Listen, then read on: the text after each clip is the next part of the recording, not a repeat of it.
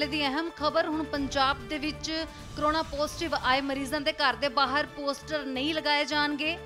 ਇਸ ਦਾ ਐਲਾਨ ਪੰਜਾਬ ਦੇ ਸੀਐਮ ਕੈਪਟਨ ਅਮਰਿੰਦਰ ਸਿੰਘ ਨੇ ਕਰਦੇ ਆਖਿਆ ਕਿ ਹੁਣ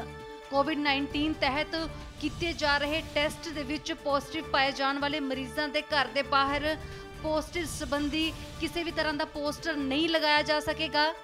ਇਸ ਤੋਂ ਇਲਾਵਾ ਜਿਨ੍ਹਾਂ ਦੇ ਘਰਾਂ ਦੇ ਬਾਹਰ ਪਹਿਲਾਂ ਹੀ ਪੋਸਟਰ ਲਗਾ ਦਿੱਤੇ ਗਏ ਨੇ, ਉਹ ਵੀ ਉਤਾਰੇ ਜਾਣਗੇ। ਪੰਜਾਬ ਸਰਕਾਰ ਦੇ ਵੱਲੋਂ ਲਿਆ ਇਹ ਵੱਡਾ ਫੈਸਲਾ ਲੋਕਾਂ ਦੇ ਵਿੱਚ ਬਣ ਰਹੇ ਡਰ ਨੂੰ ਦੇਖਦੇ ਹੋਏ ਲਿਆ ਗਿਆ ਹੈ।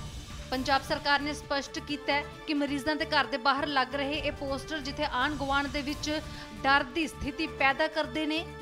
ਉੱਥੇ ਹੀ ਮਰੀਜ਼ਾਂ ਦੇ ਲਈ ਮਾਨਸਿਕ ਪੀੜਾ ਦਾ ਕਾਰਨ ਵੀ ਬਣ ਰਹੇ ਨੇ, ਜਿਸ ਨੂੰ ਦੇਖਦੇ ਹੋਏ ਪੰਜਾਬ ਸਰਕਾਰ ਨੇ ਵੱਡਾ ਫੈਸਲਾ ਲਿਆ ਅਤੇ ਹੁਣ ਕਿਸੇ ਵੀ ਵਿਅਕਤੀ ਦੇ ਪੋਜ਼ਿਟਿਵ ਆਉਣ ਤੋਂ ਬਾਅਦ ਉਸ ਦੇ ਘਰ ਦੇ ਬਾਹਰ ਕੋਈ ਵੀ ਪੋਸਟਰ ਨਹੀਂ ਲਗਾਇਆ ਜਾਵੇਗਾ। ਚੰਡੀਗੜ੍ਹ ਤੋਂ ਅੰਕੁਸ਼ ਮਹਾਜਨ ਦੀ report.